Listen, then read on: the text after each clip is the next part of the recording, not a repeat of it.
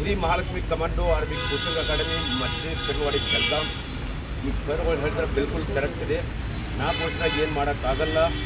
ಒಂದು ಇಂಡಿಯನ್ ಆರ್ಮಿದಲ್ಲಿ ಒಂದು ಜ್ಯೋತಿ ಸೋಲ್ಜರ್ ತಯಾರು ಮಾಡಬೇಕಾದ್ರೆ ಎರಡು ವರ್ಷ ಬೇಕು. ಮತ್ತು ಇಂಡಿಯನ್ ಆರ್ಮಿದು ಆ್ಯಕ್ಚುಲಿ ಏನಿದೆ ಗೊತ್ತಾ? ಐದು ವರ್ಷ ಕಂಪ್ಲೀಟ್ ಅವ್ನಿಗೆ ಎಕ್ಸ್ಪೀರಿಯನ್ಸ್ ಬೇಕಾಗುತ್ತೆ. ಇದು ನಾಲ್ಕು ವರ್ಷದಲ್ಲಿ ಏನೂ ಮಾಡೋಕ್ಕಾಗಲ್ಲ. ಮತ್ತು ಆ್ಯಕ್ಚುಲಿ ಇಂಟ್ರೆಸ್ಟ್ ಹೋಗಿಬಿಡುತ್ತೆ. ಮತ್ತು ನಮ್ಮ ದೇಶಕ್ಕೆ ತುಂಬ ನುಕ್ಸಾನಾಗುತ್ತೆ ಇದರಿಂದ ಸ್ಟ್ರಾಂಗ್ ಆಗಿ ಆಗಬೇಕಂದ್ರೆ ಆ್ಯಕ್ಚುಲಿ ಹತ್ತು ವರ್ಷ ಬೇಕು.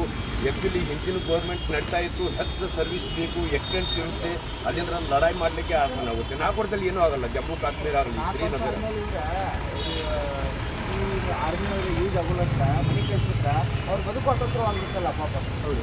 ಹಾಂ ಬಿಲ್ಕುಲ್ ಆಗುತ್ತೆ.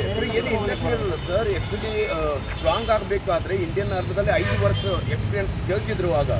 ಈಗ ನಾನು N S black cat commando ಎರಡು ವರ್ಷದಲ್ಲಿ ಸರ್ವಿಸ್ ಮಾಡೋಕ್ಕೆ ಏನೂ ಆಗಲ್ಲ. ಐದು ವರ್ಷ ಇಂಡಿಯನ್ ಆರ್ಮಿದು ಆಕ್ಸಿಡೆಂಟ್ ಬೇಕು ಆಮೇಲೆ ಕಮಾಂಡೋ ಆಗಲಿಕ್ಕೆ ಕೇಳ್ತಿರ್ತಾರೆ ಈಗ. ಅದನ್ನು ಎಕ್ಚುಲಿ ಆಗಬೇಕು ಮತ್ತು ಎಕ್ಸಾಮ್ ಬಗ್ಗೆ ಈ ಥರ ಆಗಿರಬಾರ್ದು. ಹುಡುಗರು ಎಷ್ಟೋ ಟಾರ್ಚರ್ ಮಾಡ್ತಾ ಇದ್ದಾರೆ ಸ್ಟಡಿ ಮಾಡ್ತಾ ಇದ್ದಾರೆ. ನಮಗೆಲ್ಲ ವಿರೋಧ ಇದೆ.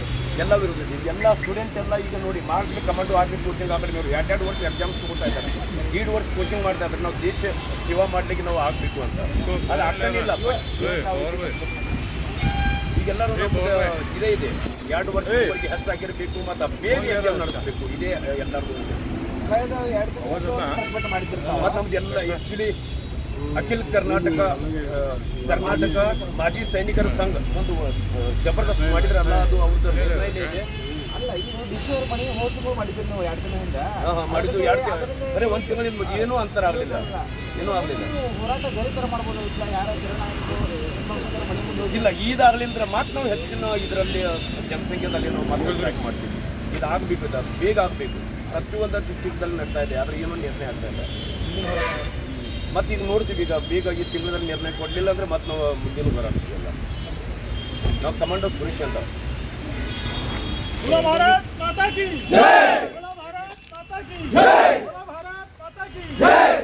भारत माता के जय। भारत माता के जय। भारत माता के जय है।